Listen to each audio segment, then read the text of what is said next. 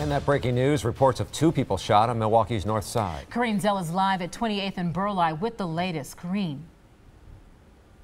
Charles and Shannon, the fire department says two women were shot here near Burleigh and 28th, and I can tell you the police have a big scene blocked off here. The fire department has uh, come and gone, but there are a lot of investigators here on the scene. They have an alley blocked off, a vacant lot, a gas station, several backyards are also blocked off, and we can still see investigators talking to some witnesses outside of a couple of the homes here on this block of Burleigh between 27th and 28th.